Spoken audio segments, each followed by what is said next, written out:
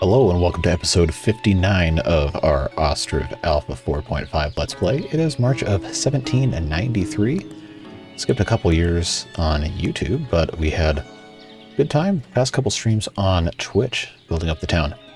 So what we ended up doing was we put a ton of houses in over here, and we added this farm right here with a couple of fields. There is a third one currently being somewhere, yeah, right here, it's clicking a little slow because the town is absolutely enormous now. But yeah, we're going to have this third field, probably not for this uh, this growing season, but we've got all sorts of other stuff as well. We've added some more grave plots and some other houses and things over here. We've cut a little bit more of the forest out. We're going to be putting some more houses in as well. But we have a lot of stuff done here. And we have uh, more storage for stuff like wool and everything. And this is currently being constructed as well. A little slowly. We might have to uh, come back and do this because it was uh, having some problems. But yeah, we are really getting somewhere with the town. We've got 1,338 residents. We've got a financial deficit at this exact moment, but we are clawing our way back. It's just kind of at the point in the game now where not a whole lot can happen all at once. It just kind of has to take it slowly and figure out exactly what's going on. You, you see how choppy this is right now.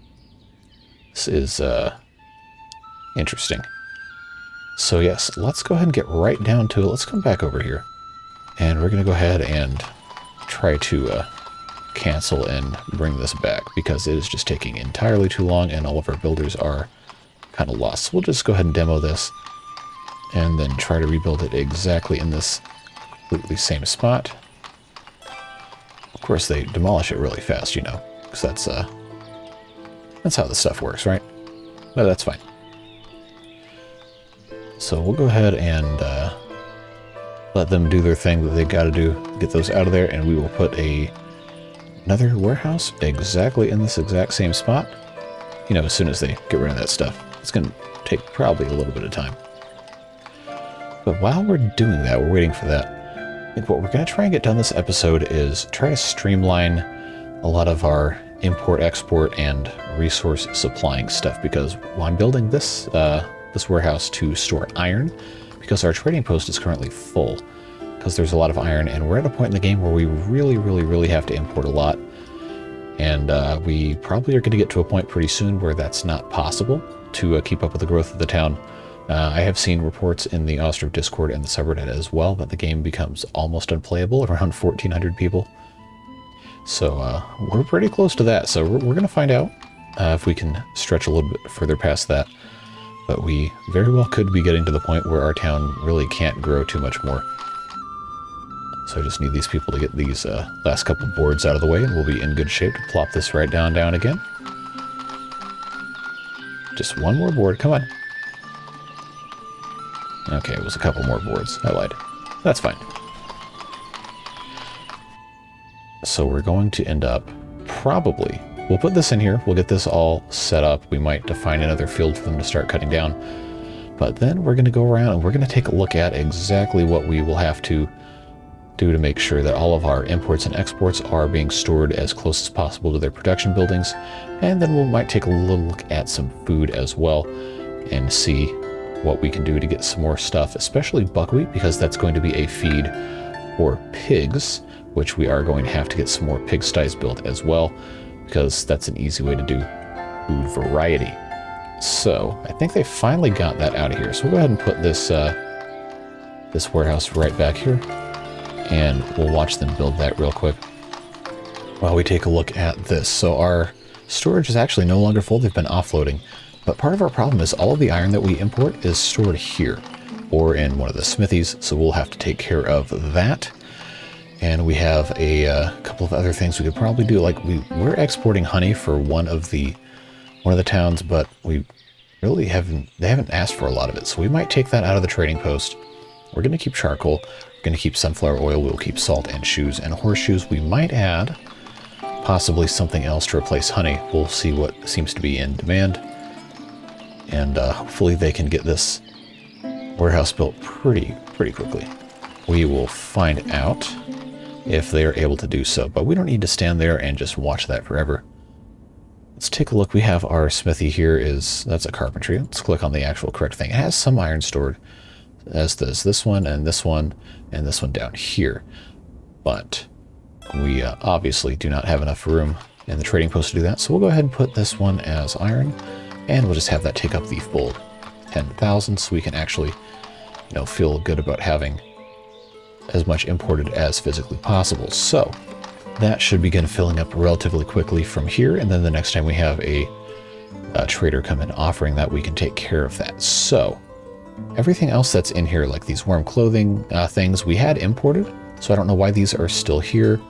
Uh, textile for our, well, these are shoemakers workshops. Textile for our uh, weavers workshops and all that need a place to go. This is charcoal, this is wood. Probably should, somewhere up here, build another warehouse for textile. This one is firewood and Horilka and Mead. Uh, see, slaughterhouses. You know, after some point, I kind of forget where I build stuff. Well, let's see. So they've got hemp. We're going. Actually, we don't need to import. We've got plenty of hemp. Uh, wheat, though, we will import metal parts. We're always going to import textile. We have plenty presently. Uh, warm clothing, we have plenty. Broadcloth. So I, I think our sheep production uh, production queue and setup here is probably about as good as it's going to need to be for a while because we have a surplus of these things. We are, as always, going to sell sunflower oil as much as we can. Uh, flour, we're not stocking here. That's in the other one. Horseshoes, we're going to keep selling because that seems to be a pretty good thing. Salt is good as well. Salo, we're not selling. We really need to be buying it. But uh, see, we'll go ahead and import some chickens because they'll just be automatically slaughtered and that will be fine. We're out of burial plots again. My God. So what we're going to do is we're going to put in... I tried to put one here, but it didn't uh, didn't really have room. We're going to need space for a uh, textile thing. Now we have all of these. Mostly salt and firewood, from what I remember. Um, yes, that seems to be about right. This one is salt. We, we just we have a ton of salt. So let's see if we can find, let's go to our weavers workshops and tailors workshops. Probably need to store more by the weavers workshops. Um, so down here we have two and two. This one is hemp and a cloak. Wow, we have a lot. I'm actually kind of surprised. A couple hundred hours in this save. I just don't remember half of this stuff. Okay, so we've got one down here. Why don't we go ahead since we have so much open space around here, we'll go ahead and put in a warehouse right next door, just right behind it. Actually, this field is done, and it's June, so I think we might be able to uh, take care of that. Now, we do need to check real quick before we do anything else. We don't have any buckwheat stored. We have a ton of potato. Good lord, 52,000 potatoes. We really need to get more buckwheat, but we have to figure out what buckwheat is a good balance with because it takes up most of the green and the blue. We could possibly uh, grow wheat and buckwheat at the same time. Uh, I don't think we really need very much more wheat. So this one we've got buckwheat, we've got sunflower, flax, and a fallow field. Seems to be holding up okay. And we have the same exact thing here. So you know what? Let's not tempt anything. Let's just go ahead and copy. I wish I could copy this, but we'll go ahead and get this rolling here and we'll have this join the rotation, probably doing flax. Just to keep things pretty simple. And I don't know if it's going to let us... Okay, no, sowing season's over, probably ended in uh, May. But that is now in the correct spot, and we can, of course, while we're sitting here, go ahead and add another field and connect right here to the corner. And then come all the way down here to our 50 spot right here. That is now too long, and I did a really bad job of lining stuff up, I guess, because these are going to be going to be trapezoids. So we're actually we're not too far off. We'll go ahead and come down here. That's 49, so we need to come up just a little bit more. To here, 50, 50, 50, 50. And it's not going to be perfect, but uh, you know what? We'll we'll live with that. We'll let them get rid of those 51 trees. But this should end up helping a little bit here. Wow, why do we have 5,000 water in here? That shouldn't be...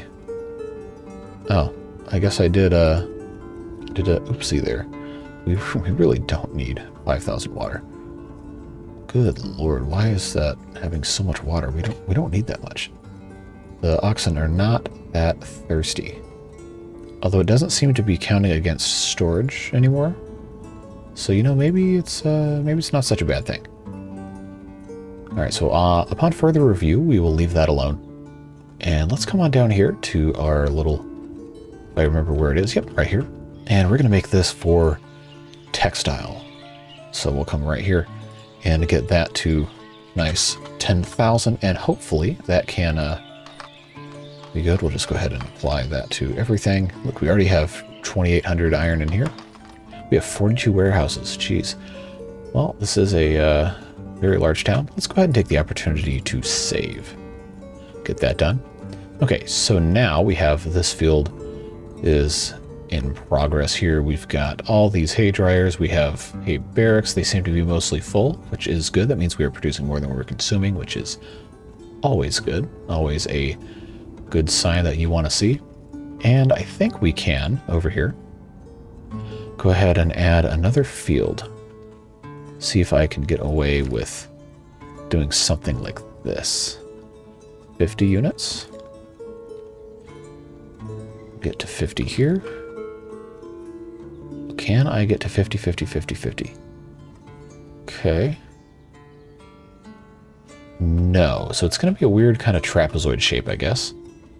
That is okay. Look at this to maximum size. That should be... Yeah, it's going to be weird, but what do we care, right? What really matters is, does it produce what we need it to produce? The answer is probably going to be yes. So all we have to do now is find the corner that we just put in, and it's going to be probably here. Yes, looks like it. And then we will do a similar thing. Again, these aren't going to be perfectly straight, and I'm sure there's some of you that will be very upset with me for that, but you know what? It's to be fine. So we'll just go ahead and trick the game to letting me do this. Seems to be in order here. So this will be a weird little triangle field. But that'll get us to six fields here, and this one uh, should be relatively quick and easy to do. Then I think this should be okay. Should be a-okay. And then this will all be in order by the time we have the next planting going around. So since we have a lack of burial plots, you know what that means? Well, actually, we have this messenger we need to take care of first mead, we will always purchase mead. Dried fish we actually don't need to buy, which is good. Sunflower oil we'll sell our 2,000 here. Flour, I believe we still... Eh, no, I won't sell any of that. Um, clothing, we're not... Wow, we got a lot of clothing. So we're probably actually good on clothing. Warm clothing we're good on. Broadcloth we're good on. Salo, of course, we have none because we don't have any. So now the game's paused. Go ahead and save again. And you guessed it, we're going to be doing more of this as soon as I remember to actually, you know, click the correct thing. Right, and we'll just keep on adding these because people die and they have to have somewhere to go, right? And I don't think we're going to get any crematories. Crematorium, I guess is probably the correct word. Probably not in 18th century Ukraine if I had to take a wild guess. We're almost in 19th century Ukraine, actually. I had a previous file I believe got to somewhere in the early 1800s. It was not this large, but I did leave it running for a much longer period of time. We'll just add a couple more of these to finish out this row, and then we're going to try and see what else we might want to take care of in today's episode. So thank you for bearing uh, with me through this. Okay, so that's all taken care of. That should hold us over for at least another five minutes, probably. I don't know. So, we've got chicken coops. I think they're probably all okay. As long as they're at full capacity, we're in pretty good shape. Uh, we probably should, while we're at it with the livestock, go around to all the cow sheds and take care of the bulls. They're actually all still queued up for uh, for slaughter from the last time I did this. So maybe things are just uh, taking a long time. I don't know. Never hurts to check, though. We probably could stand to build another couple slaughterhouses, actually, now that I'm thinking about it. But I don't want to add too many jobs because we already have a lot of open vacancies. As always, we'll leave one bull of reproducing age to make sure that our population doesn't crash because nothing can reproduce. And yeah, see, this has a couple of older ones here. And we'll leave one old enough. Yep, right there. Same thing over here as always. And I think, yep, we'll have to leave that one. Grab these two. Actually, this one still only has 14. Why does it only have 14? I guess they've been, uh, they've been slaughtered, or I made these an oxen for the new farm. I actually don't remember, so we're going to just we will we'll untick these. We'll let them we'll let them do their thing. Uh, I'll go ahead and get these two. Three, I guess, if I can count correctly. Sometimes that's hard. Okay, I think we are good to go. We'll save again. The day this game's autosave is fixed, it will be a very good day. Or at least where it makes the game not completely unstable. So we have three fields up queuing for construction here. We've still got plenty of time today to take care of a couple more things. Let's check on our taverns. They're actually negative wealth. I don't know why. Now, if you, if anyone watching has an idea as to why this tavern could be negative wealth, despite having plenty of houses around it, uh, let me know in the comments, because I can't really figure it out. Because this tavern is always poor. We'll go ahead and we'll give them some money so they don't have to move out. Get them up to 100. So we have uh, already negative anyway. Who cares? But these people have plenty of money. They're at 265, and these people are at 1319. So I have no idea why this other one is having such a huge problem with it. Because there's not really that fewer houses around. I don't think within a certain radius there's probably about the same amount of people. I just, I just I don't I don't understand. I I don't get it. I truly don't. So that that might be a mystery for a later day. We're already having some textile going here, which is very encouraging. Good to see. We have plenty of houses down here. We have this brand new market. The granaries seem to be doing reasonably well. So I think let's check our uh, our stock of things again. We can feed pigs potatoes because we have a ton of them.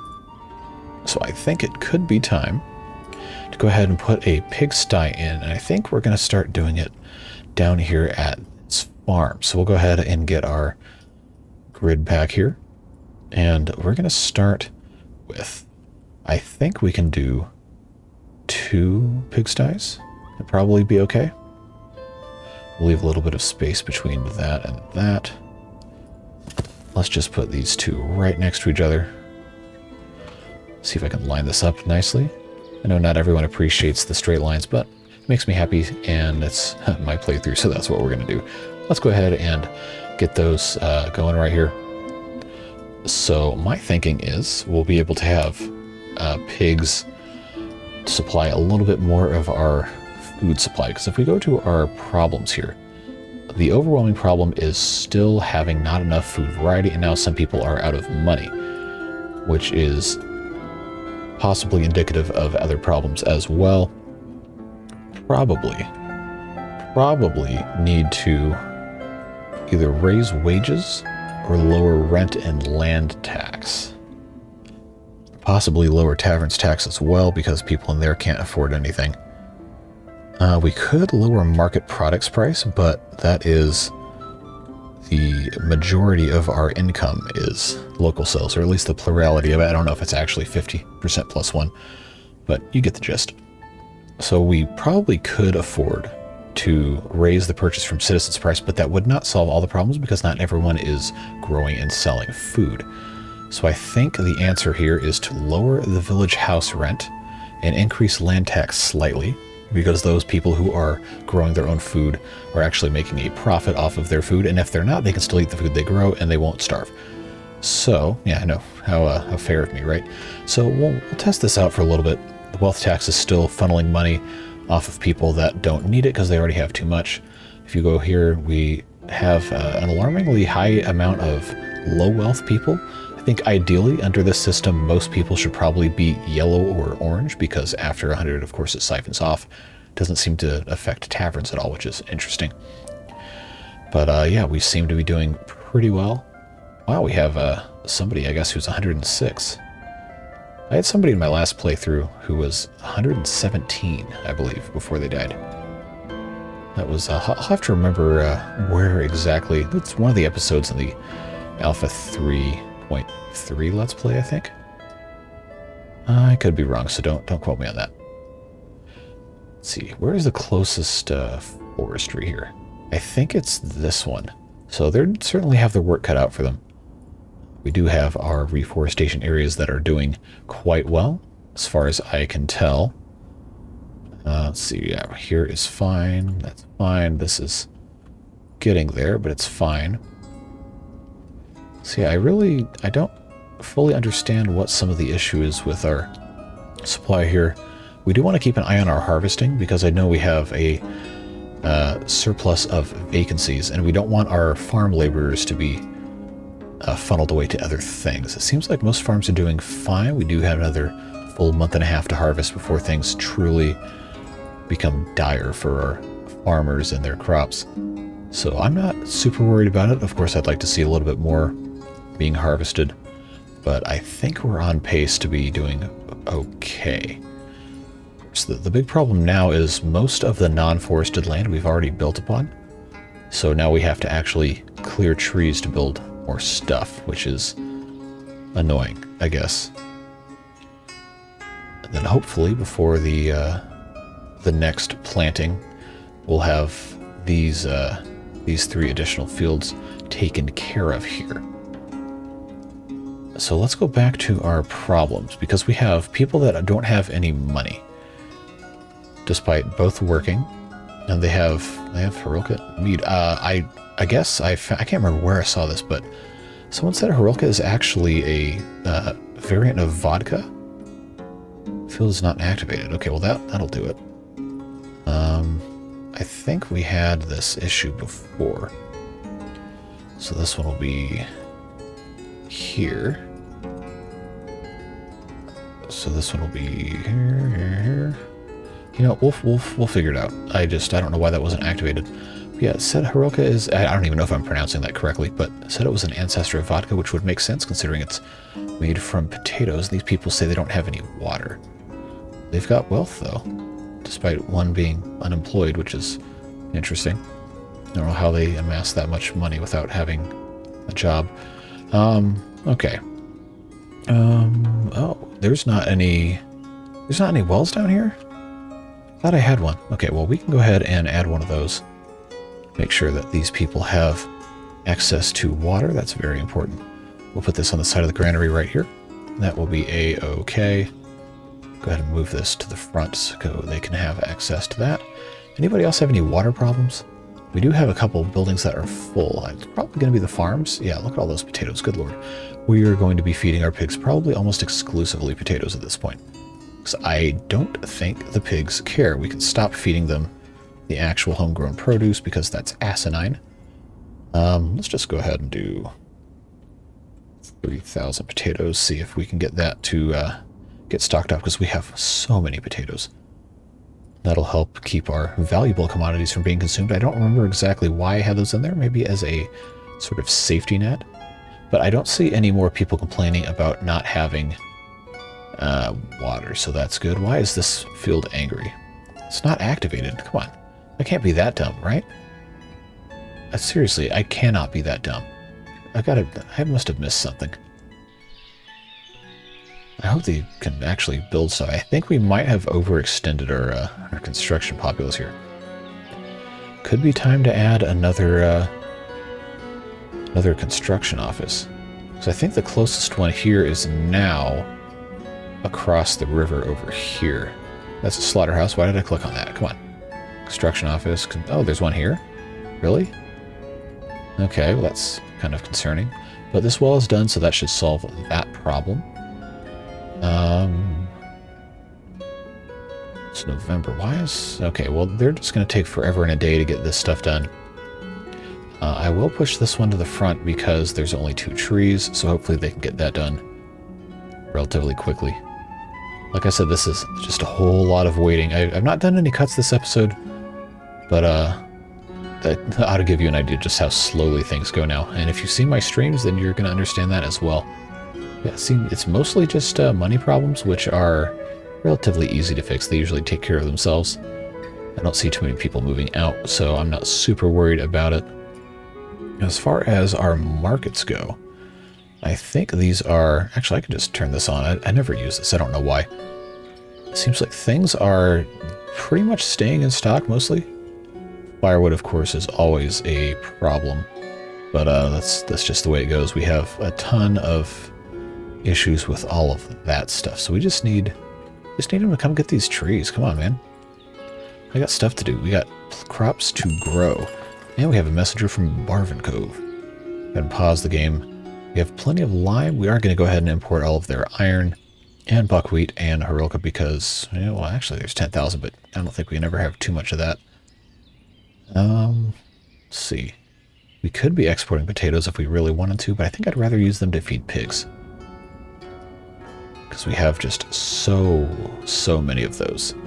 Now I hope they're going to get logs here, and they are. So that should, uh, hopefully. I think there's just, just these two logs that need to come get removed.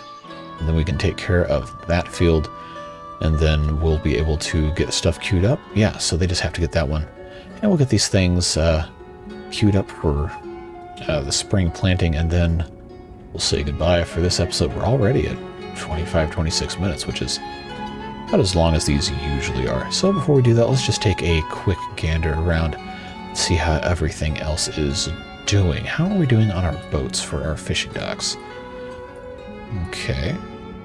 We don't have everything fully. I can't remember if I have any down here. Yep. I did build another boatyard and somewhere up here and hired more people to work at it because I guess I hadn't had anyone working here. But this is uh, not ideal, but it's an acceptable amount of boats to be out of operation here. Okay, so this field is fully complete, and we have snowfall.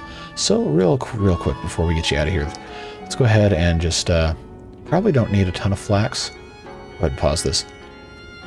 I think this is going to be a pretty good uh, rotation here. So we'll go ahead and copy this exact same thing here. It's going to be some buckwheat. And I already forgot what the second one is, sunflowers. It's been a long day. This one is going to be flax. We actually could do hemp instead of flax. Um, yeah, we can rotate, why not? Leave that there, we'll go ahead and activate it. And, uh, yeah, I don't think we're going to get this field completely done. I might do it as soon as I stop recording, but I don't want to keep these to be super long. But yeah, we've got a, you know, incremental improvements. Nothing earth-shattering per se. But I always like playing the game and I like providing you guys with updates and seeing all of the wonderful support and comments and everything that people leave. It's fun. It is, uh, you know, just a really enjoyable experience. And I know a lot of you are very, very appreciative of it. So I appreciate you being appreciative, you know? I think that's how that works, being reciprocative, if that's a word. Iron is looking good. Yeah, so we're in, we're in good shape. I'm pretty happy with how things are turning out we definitely are reaching the point of diminishing returns. But uh, I'm going to keep playing this until we get another huge update. If Alpha 5 comes out anytime soon, then I will probably start over for that. But uh, I don't plan on doing that unless it gets to that point. So now, of course, is the time to remind you that I do live stream on twitch.tv slash jcthebeard. I do play some Ostriv as well as Persona 5 Strikers. I've got a couple other things in the works as well, maybe another city builder type game or some other similar things. So if you feel so inclined, follow me there. It's a good time. I just got to affiliate, which is all sorts of good fun. And we are not too far away from getting to the YouTube partnership either. We're just under 860 subscribers as of recording this video. So hey, if you're not subscribed already, go ahead and hit that button and click the bell so you don't miss any of my videos as they come out. But if you don't want to do that, I still appreciate you just the same. Thanks so much for watching these videos and I hope you have a fantastic rest of your day wherever you are. See ya.